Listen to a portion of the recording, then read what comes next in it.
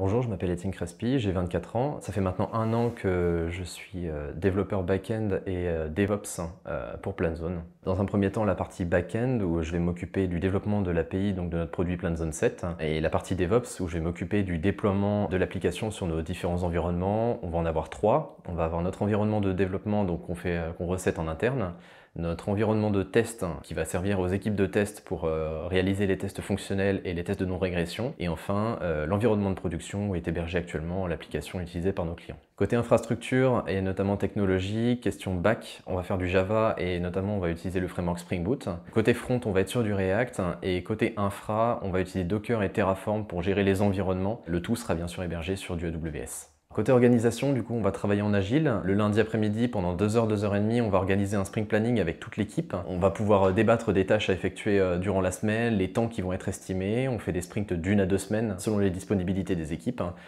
Et euh, tous les jours de la semaine, pendant 10 euh, à 15 minutes, le temps de prendre un café, on va pouvoir faire notre petit euh, daily pour parler des tâches qui vont être réalisées dans la journée, les tâches qui ont été réalisées la veille et potentiellement les problèmes qui ont été rencontrés pour s'aider mutuellement. Qu'on soit en CDI ou bien alternant, on a quand même la possibilité d'être force de proposition et dans la mesure où c'est pertinent, on a la capacité d'avoir nos idées implémentées et je trouve que c'est valorisant à la fois pour le développeur mais aussi pour les autres membres de l'équipe de pouvoir se sentir vraiment inclus au sein de l'équipe et de faire partie du projet.